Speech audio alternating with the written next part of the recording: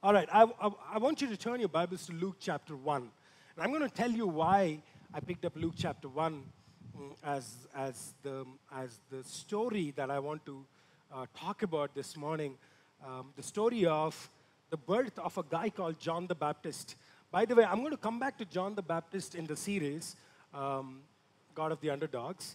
Uh, but before, uh, since I'm not talking much about John the Baptist, I still thought I'll pick up this passage and talk to you. It's a little, little longer passage, but it's a story. Just follow along with me as I read this story. Chapter 1 of Luke, um, verses 5. When Herod was the king of Judea, there was a Jewish priest named Zechariah. He was a member of the priestly order of Abijah, and his wife Elizabeth was also from the priestly line of Aaron. Zechariah and Elizabeth were righteous in God's eyes, careful to obey all of the Lord's commands and regulations. They had no children because Elizabeth was unable to conceive, and they both were very old. One day, Zechariah was serving in the temple, for his order was on duty that week. As was the custom of the priests, he was chosen by the Lord to enter into the sanctuary of the Lord and burn incense. While the incense was being burnt, a great crowd stood outside praying. While Zechariah was in the sanctuary, an angel of the Lord appeared to him, standing to the right of the incense altar. Zechariah was shaken and overwhelmed with fear when he saw him. But the angel said, Don't be afraid, Zechariah. God has heard your prayer. Your wife, Elizabeth, will give you a son, and you are to name him John. He will have great, you will have great joy and gladness, and many will rejoice at his birth. For he will be great in the eyes of the Lord. He must never touch wine or other alcoholic drinks. He will, fi- he will be filled with the Holy Spirit even before his birth. And he will turn many Israelites to the Lord their God. He will be a man with the spirit and power of Elijah.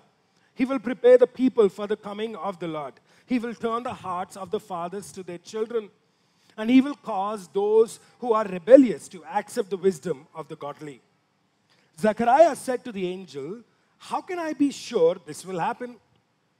I am an old man now, and my wife is also well along in years.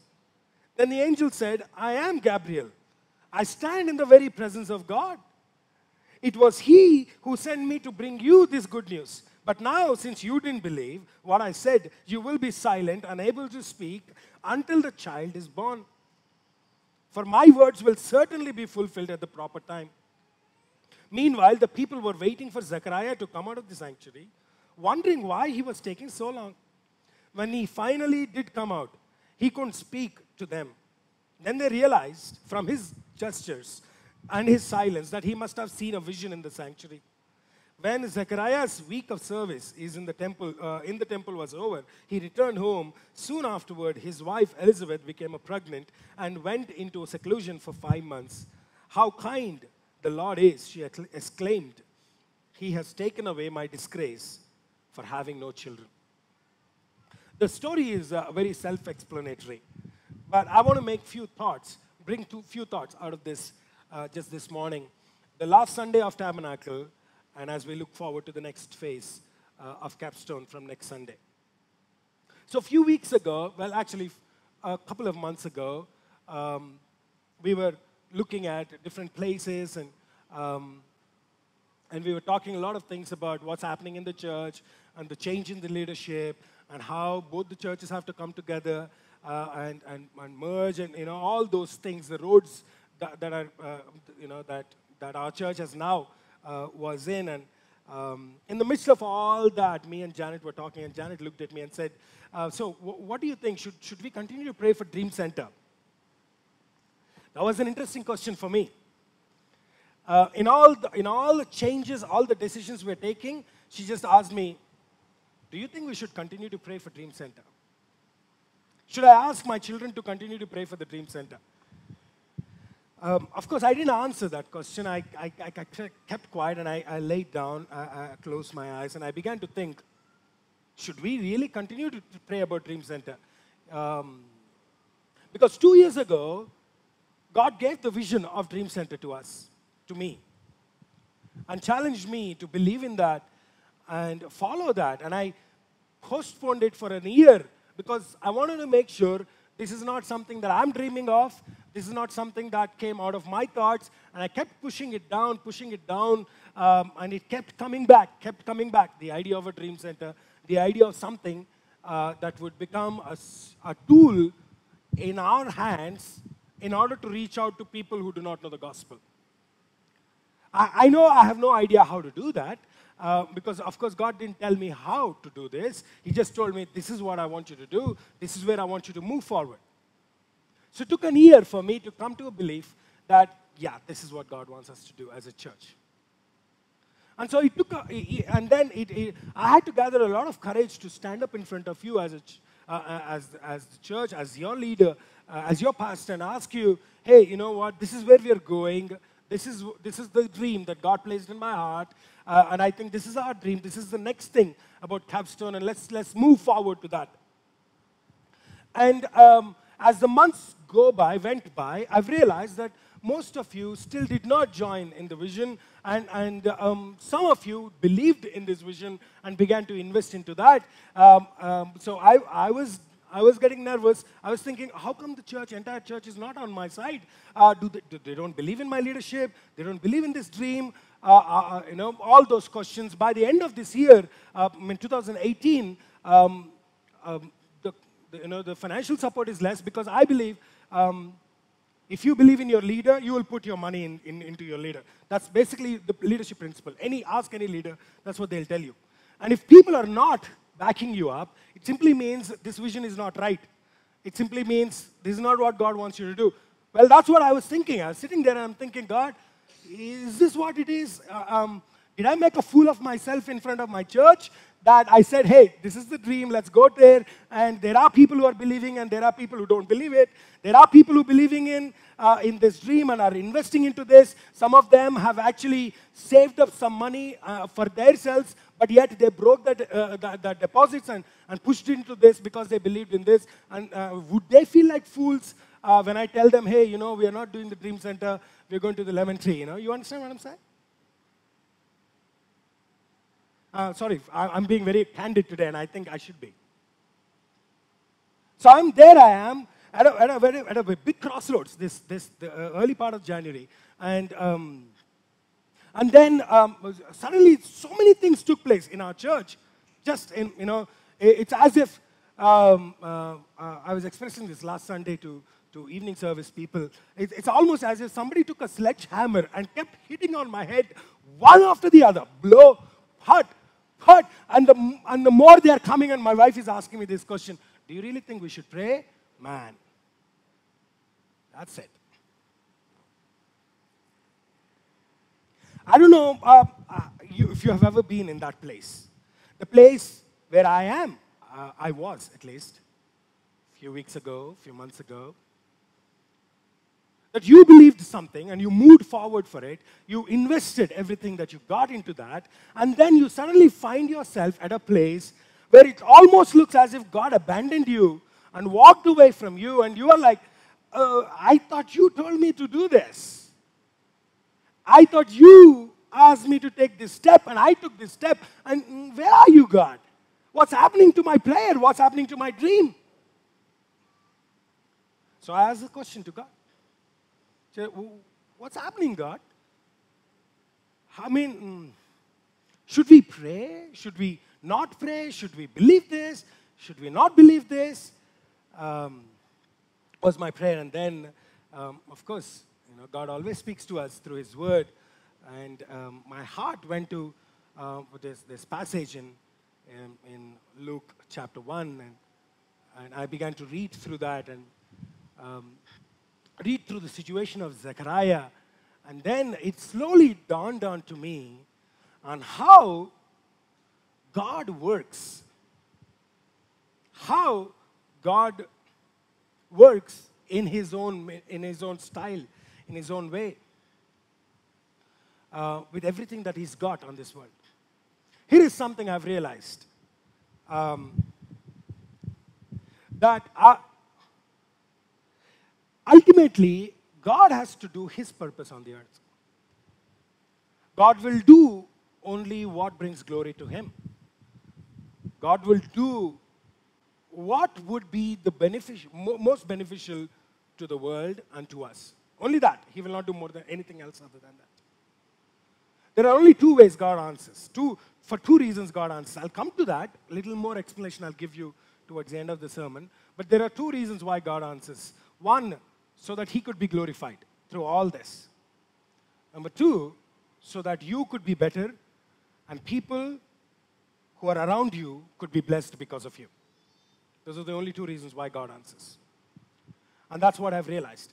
Okay, so till I come to a position where I am a better tool, till Capstone comes to a position where Capstone, Neons, everyone in Capstone becomes a tool in the hand of God, a better tool in the hand of God to bring healing to this world, God will keep pushing it, keep pushing it. But that does mean we should not move forward to that? That's the question. That was the question I had to ask God. And um, God began to speak to me about how anything that God did on the earth and in, the, in, in through the scriptures all began with man taking the first step. God speaking to the man, but before God did anything, man believing in and stepping forward. And so I wrote down what I felt was God speaking to me, um, you know, in, in this process. Um, last night, as we watched, um, I wasn't sure what I need to speak this morning. I just wanted to speak about giving thanks to God for all the things that He has done. Maybe I'll, come, I'll, I'll speak about that this evening. Uh, but last night, after we watched the movie, and uh, some of us were, uh, you know, Pasnani, and some of us, we, we were hanging around at a food court and were eating together, and then, uh, you know, just got into a conversation about what would have gone through Graham Staines' mind as he's being burnt alive. It's not about him being burnt alive, it's about the two kids that are beside him, right? Um, mm, it's your children. It's like you got dreams for them, you got plans for them. It's okay you die. It's not okay they die, you know. It's, it's okay something happens to you. It's not okay something happens to them. The reason you follow God is because you hope that because of your sacrifice, your children are safe. That your children have a better future. But then here is a man who sacrificed his entire 35 years of life and, and, and, and gave his best to this country, to these people, uh, um, and, and uh, with, with no expectation back uh, from, from them, but with, with only this, this confidence that Scripture tells us that if I serve you well, then in heaven I have a reward. I'm sure Graham Staines had that in his mind. I'm okay if I don't get a reward here. I'm okay if nothing happens to me. I'm okay if nobody recognizes me. I'm going to go there and get my reward. I'm sure that would have been his his driving force.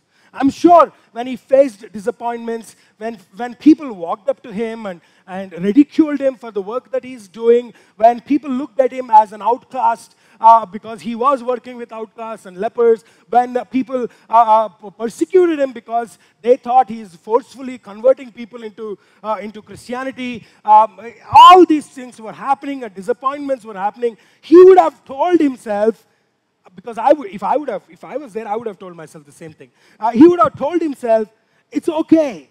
It's okay to fail here. It's more important that I win there. That's more important. Let me just keep my eyes." That's what he would have told his wife. That's what he would have told his daughter. Maybe not his children, the young boys, but his daughter was growing up, right? So he would have told her, "Hey, let's let's keep our eyes there." And now um, his, his faith is tested in the van as he sat there, uh, um, light down, along with his children, uh, and as, as, as this van being burnt, um, what would have gone through his mind as he's getting burnt, begging them, just leave my children out. Let me, you know, when we first heard of the news, we just saw the pictures. But then when we were watching movie, then that's when I realized this is, a, this is a horrific. This is horrific. If I was there, man, I, I would have lost my faith instantly. I would have questioned everything that I did for God.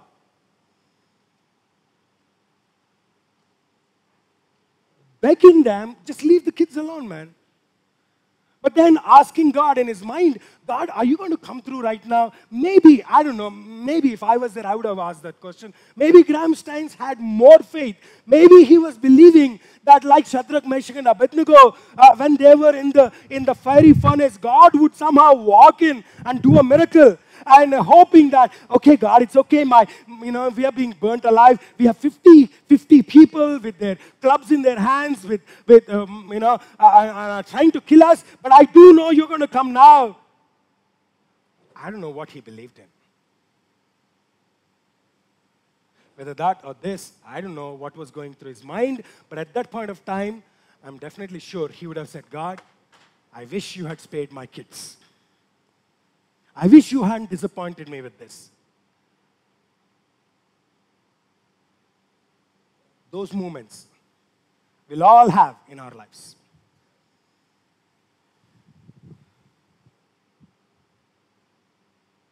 I have a feeling that Zechariah had that moment for quite some time.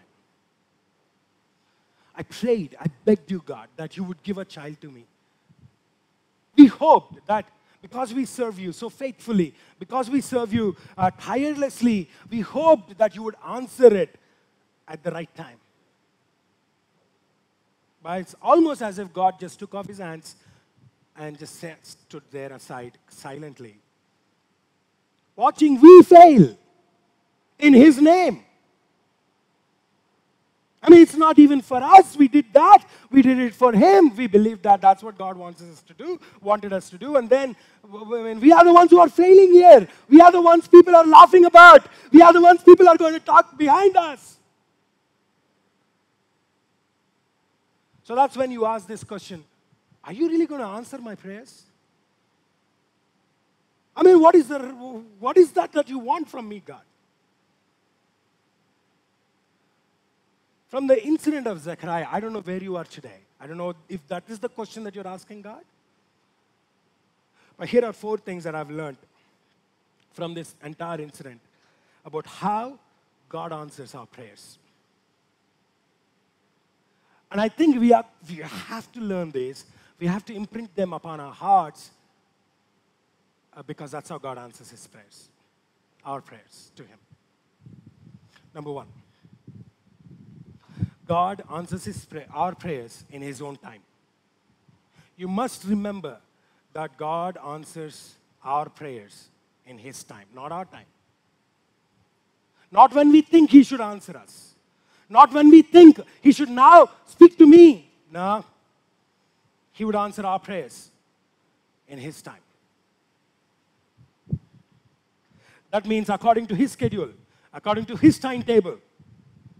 You see, you are not the only person. Me, I am I'm not the only person in this world that is praying to God. You see, you and me are not the only church that is begging God to do a miracle for us.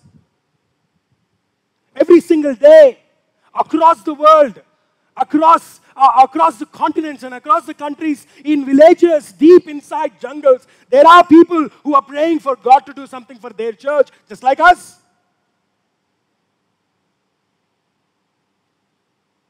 So, in order to make sure that whatever he does in this world will bring glory to his name, at the same time will also be healthy for the church, for you and for me, God has to wait for the right time. His time. Not when I think it should happen, not when you think it should happen, but when He knows it should happen. In your life, it's the same. For your dream, it's the same. You may be asking God, shedding tears, begging God, fighting with God. You better answer now. And it's, all, it's God is like absolutely silent. And He's saying, maybe through His silence, He's saying, Nah, you got to wait. I got my own time.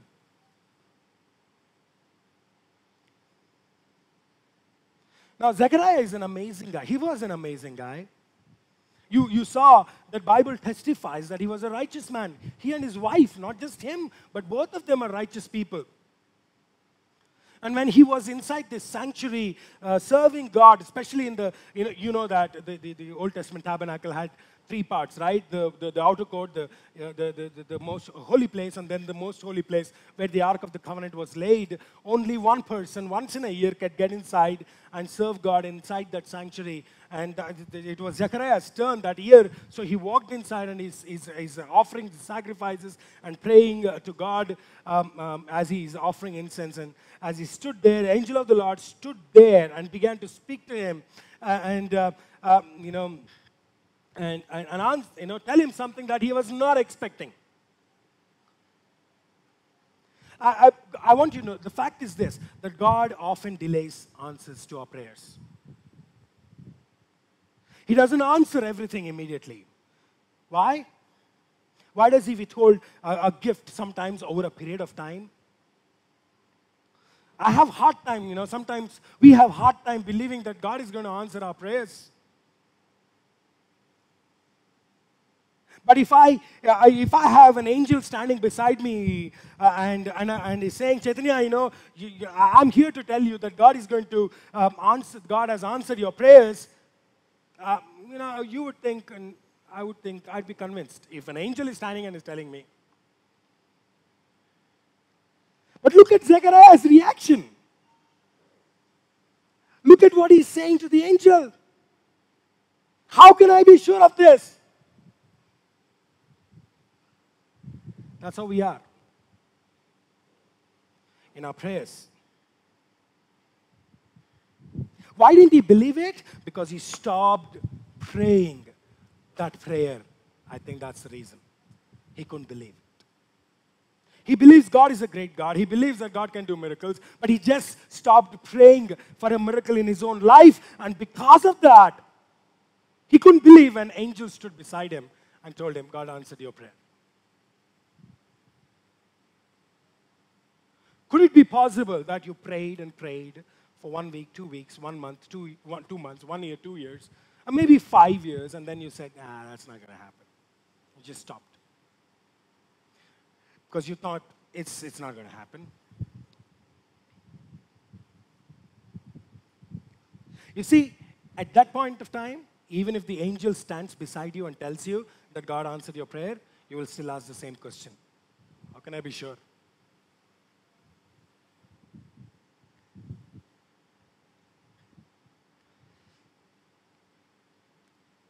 It's a, it's a, it's a, I'm an old man. My wife is well into years. Uh, he's basically saying, I gave up, man. That's what he's saying. It's a diplomatic way to answer, right? Uh, I'm old guy. My wife is well into years. Obviously, he can't say my wife is old. He will not have food that night. So he has to say my wife is well into years.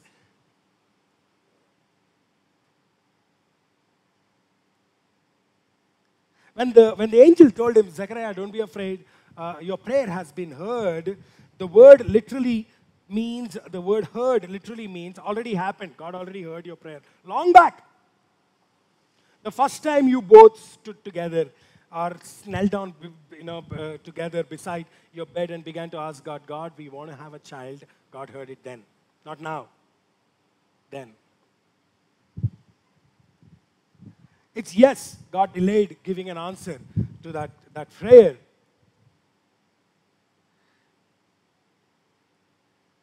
But here is what we need to learn it's the hardest thing that we need to learn that God answers only in His time.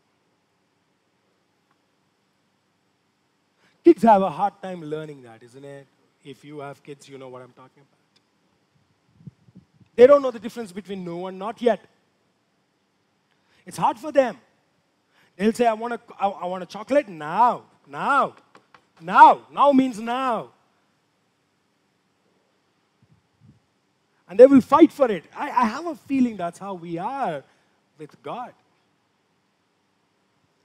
But when we grow up, and if you're hungry and you're saying, I want a chocolate or I want to eat something, and somebody beside you says, just wait for some more time, you will wait. Why? You're mature now. You understand that some things take time. That's the mark of a mature person who waits for an answer from God. I tried prayer, I prayed for two weeks, nothing happened, so I give up on prayer. I lost my faith. Faith in prayer. No, you haven't lost your faith. You just lost um, your patience for God to answer. I already told you that there are two reasons why God delays prayers. One, God delays prayer because He wants us to be ready for us to receive His blessing. And two, He wants us to be ready that when we receive that blessing, we'll be willing to share it with somebody else. Till then, He's not going to give us. See, the fact is, God is never late. His timing is perfect. We may think He's late, but He's never. He never is late. God's delays are definitely not God's denial. Not yet does not mean no from God. So, how long should I pray? That would be your question. Let me just answer that, and then I'll give you the second reason, or second thing that you need to remember when you pray. How long should I pray? Pray until three things happen. Number one, any one of these three things. Number one, until you get an answer. Oh, that's an obvious answer, right? Until you get an answer. Number two, until you get an assurance that God speaks to you through the Word of God, through your daily meditation, or through using other people, uh, uh, you know, in your life who, who are investing into your life, your mentors, and speak to speak through them, saying this. Don't worry, I'm going to do this for you. If God gives you that assurance, stop praying about it. And that's why I stopped. I stopped worrying about it. I know this is not my dream. Dream Center is not my dream. Given a choice, I would walk away from it. Given a choice, I would walk away from Capstone. This is not my dream, this is God's dream. And I know if God wants to do something, He will do it. If God told me that He's going to do it, He's going to do it. Not, maybe not this year, maybe next year. Maybe five years from now, maybe 20 years from now, but He's going to do it. That's the confidence I have. He will. He has already given me that assurance. Uh, or number three, the third thing is this that when you, you keep praying until God tells you that stop praying. I'm not going to do that. He will tell you if, he's not, if it is not His will. He will tell you. He will cause a peacelessness in your heart. He, he you know, you, you, you, will not, you will not be at peace at all uh, with regards to what you're praying for. You become uncomfortable about praying, uh, about praying for it. Um, he will reveal His will to you. You will figure that out in your journey. So keep praying till you get an answer, or till you get an assurance, till you get a denial. One of those three.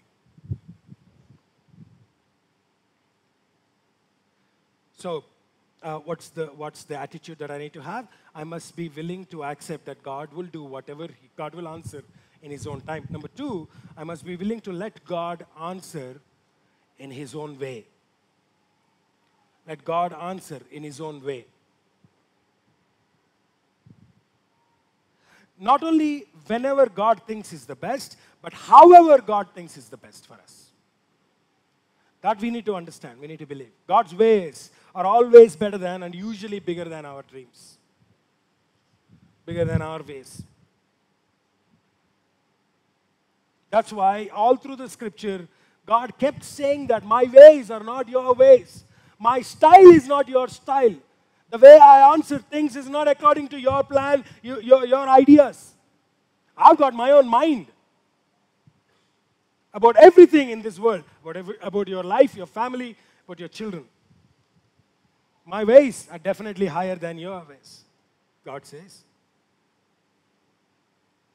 So sometimes God delays our prayers because what we thought was really big could be small to God.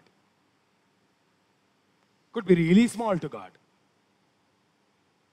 What we assumed, oh, this is a really big task, God could be saying, nah, that's really too small for me to do. It could be possible that God is saying, I'm delaying it because I want to do much bigger, much better, better than you dreamt, better than you thought it would be. I want to do that that way. We got to understand that fact.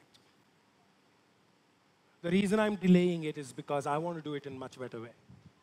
Imagine the day that Elizabeth and Zechariah prayed and asked for a baby. What if God answered the, uh, the, their prayer immediately? What if they had a child immediately? A little Jewish boy.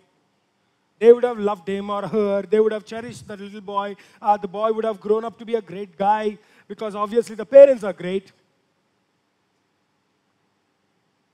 But he delayed answering Zechariah and Elizabeth's prayer because God was preparing Zechariah and Elizabeth to give birth to one of the greatest Old Testament prophets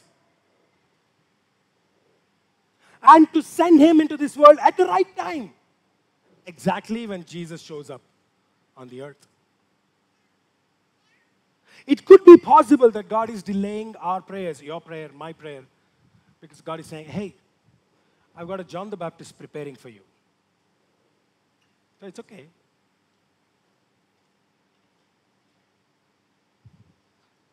That's why God delayed Hannah's prayer.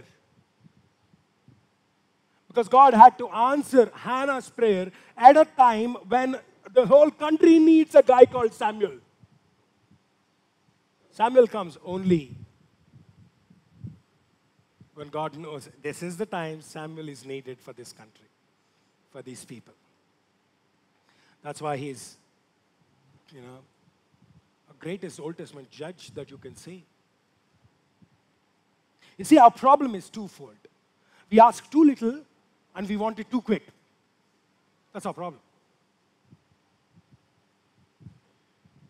Instead of uh, letting God work in His time, in His way to do something bigger, we don't dream big enough. We don't pray big enough. We don't think big enough. We aim too low. Ephesians chapter 3, verse 20 says, But God is able to do even exceedingly above what you can are able to ask, think, or imagine.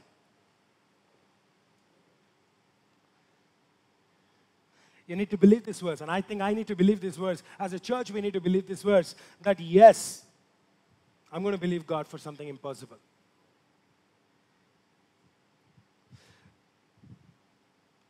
I've realized this. I, I, can think of the biggest thing that I can pray for and pray, and I can actually hear God smiling and saying, Really? That's all you can think about?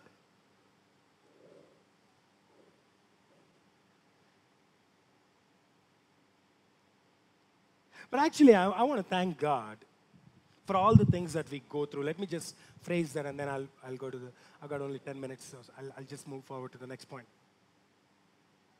You know, when we prayed, right in the beginning, when I prayed for this church, and I, I, you know, I had a business deal with God. I said, God, if you give me a 30,000 member church, then I will go ahead and plant this church, Capstone. Um, and actually, I believe that God did want to give us that kind of church. I still believe, by the way. But it's bigger than that. But let me just pause there and I just want to tell you this. But this is what God taught me because there were times when I fought with God, saying, God, why don't we grow faster than other churches? I mean, I mean, we are really good, right? We got a great worship team. We got a great setup. Um, I think I'm okay as a preacher, but I, you know, we, we should get people. You know, why, why are people not coming? And uh, this is what God taught me. Uh, over the years, this is what God taught me. You really don't want them. You really don't want them. You want little by little, little by little little by little. You don't want all of them at one go because you will not know how to handle them. Trust me, really.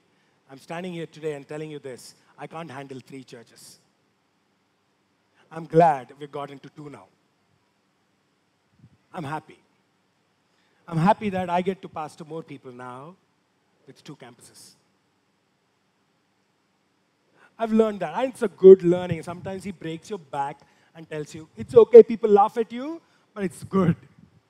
For you, you will become a better person. You'll become a better leader. Next time another leader will follow you, he will learn from your mistakes. So I'm glad. I'm glad I, I, have lost some things. I'm glad people broke my heart. I'm glad that I made bad decisions. Not that I will continue to make, but I'm glad I made some bad decisions. Because now I learn growing happens slowly.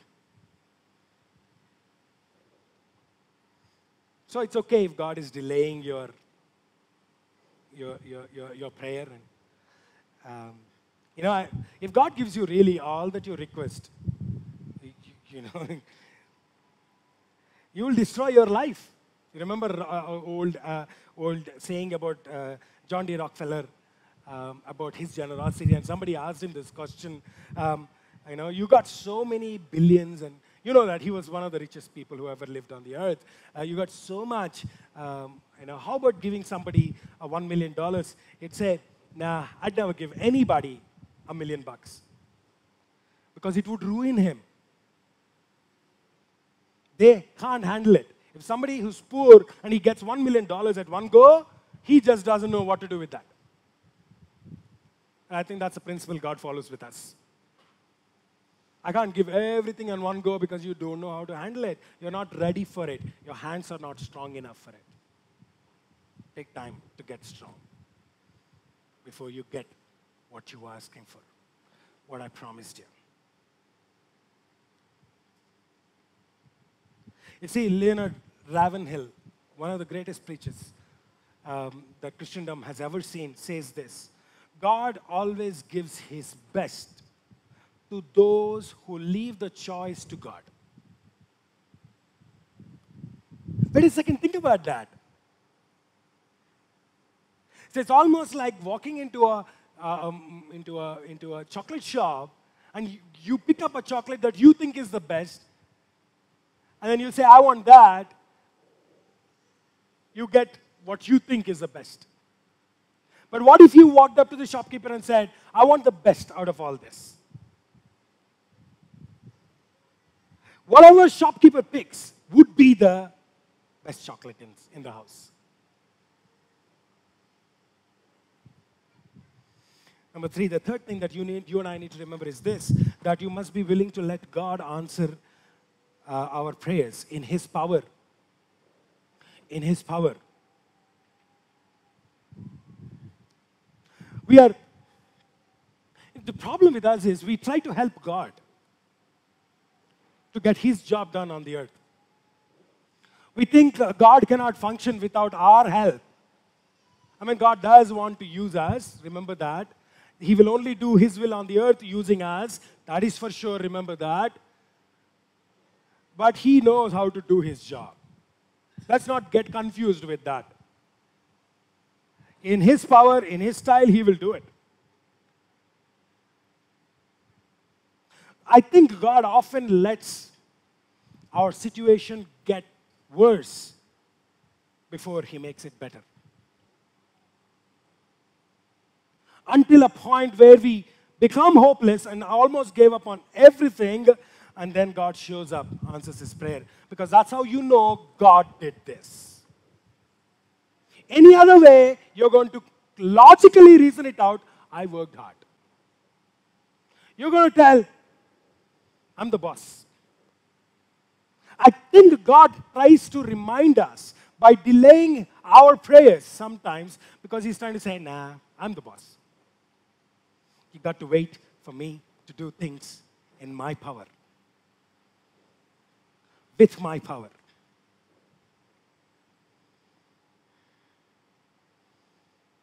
So both Elizabeth and Zechariah or Abraham and Sarah gave exactly the same excuse, right? They said, This is not possible, humanly impossible. God said, Yeah, that's why I waited this long.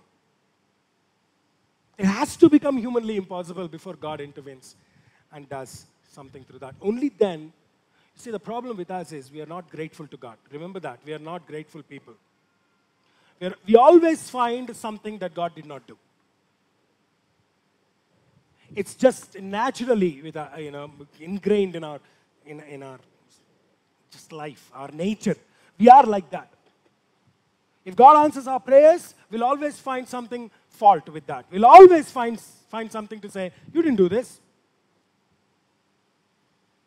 If I had given, a, if, if there was a choice given to me, I would have done it this way. So I guess God waits till you know you exhaust all your resources, you exhaust all your plans, you exhaust all that you got, and then say, finally, God, really, you better show up.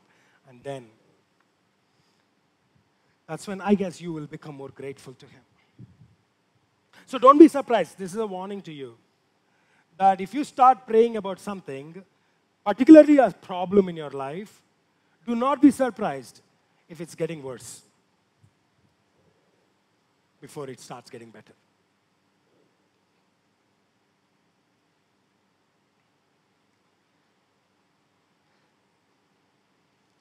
Number four, the fourth thing that you and I need to remember is this that you and I must be willing to let God answer for His purpose, for His own purpose. Not only whenever He wants, however He wants, but also for whatever reason He wants to answer our questions, our prayers. I told you, if you look at the entire Bible and look at all the prayers that have been offered to God, look at all the answered prayers, you will only, you will only see two reasons why God always answered those prayers. Number one, that we grow. Number two, that He gets glory. We grow, He gets glory. We grow, He gets glory. That's what you need to remember. God will answer our prayers only when we are growing, and ultimately, He's the one who's getting the glory. If that's not going to happen, He'll wait till that time comes. Why did God answer Elizabeth and Zechariah's prayer after so many years? That's the reason the angel gave him. Hey, John the Baptist is not for you. John the Baptist got a, got a purpose. Your child has a purpose. That's why God is giving you the child. Be glad that He's giving you the child. And He's going to use your child to do something great.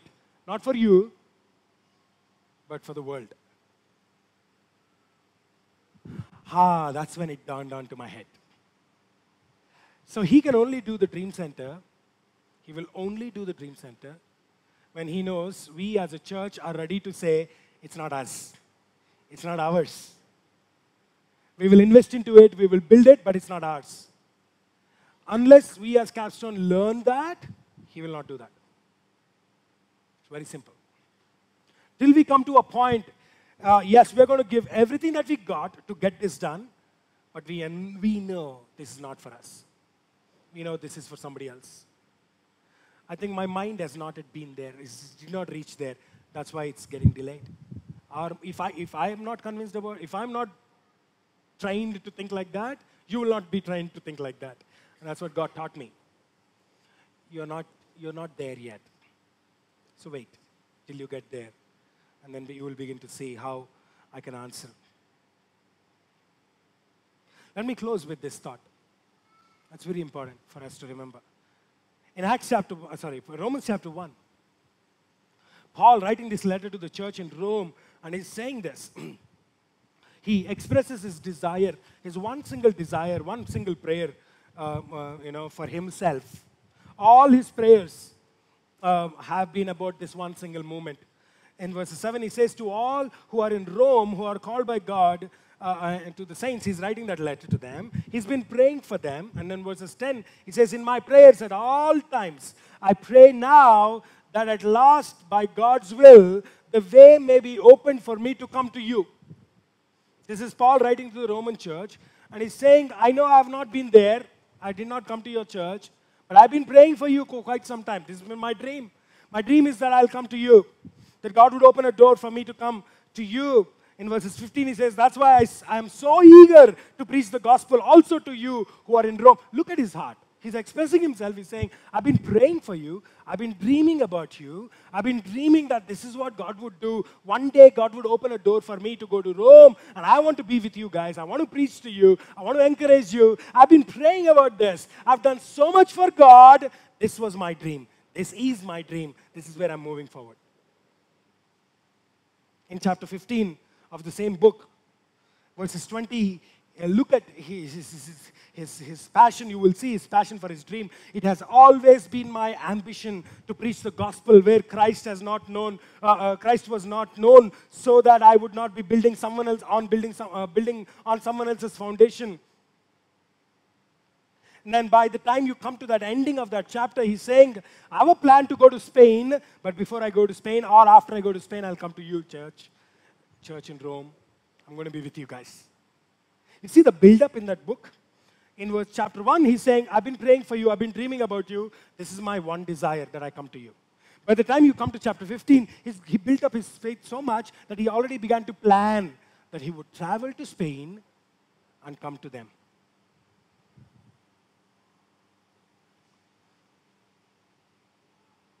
But then, the first ever time Paul enters to Rome, finally he manages to reach to Rome. Using all his uh, head and you know ideas and God's favor and all that stuff. Going through a really rough time when he traveled to Rome. He was shipwrecked, caught in a caught in an island full of snakes, was bitten by snakes, most poisonous snakes that were ever found, and still survived all that, and somehow managed to reach Rome. The first thing that happens to Paul is that he would be caught and put in a prison. Never got a chance to preach the gospel in Rome. Before he could even utter the name of Jesus in the streets of Rome or even in the Roman church, he was beheaded. What happened to his dream? What happened to his prayers? I mean, he's been wishing and praying and asking God to do that and just, just vanishes.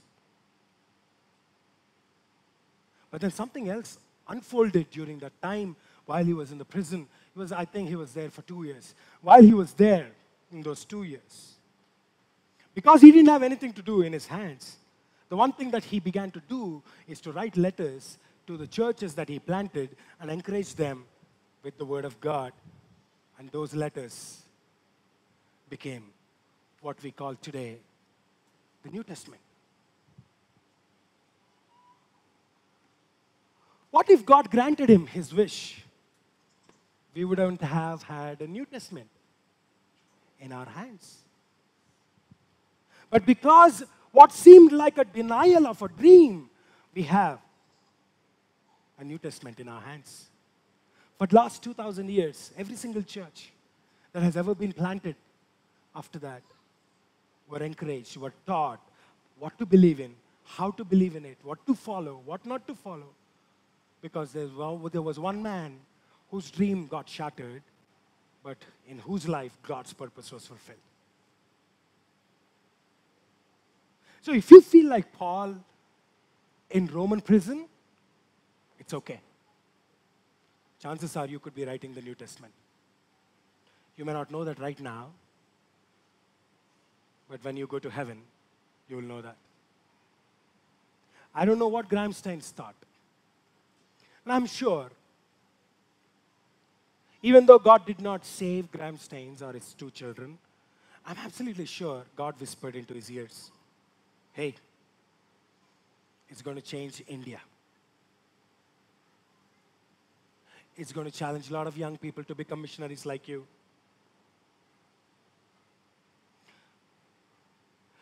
People may call it injustice at this point of time. A thousand years from now, when Christ returns, people will be glad that something like that had happened. Because of a Graham Staines and two, his, two of his children, what if this entire country gets saved? That could be the purpose of God.